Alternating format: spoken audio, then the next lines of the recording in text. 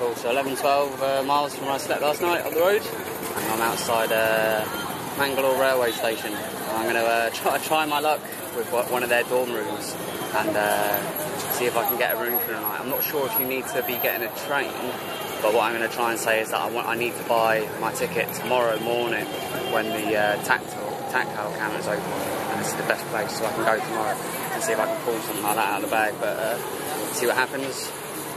Everyone's. Yeah, outside the railway station. Right, here we go.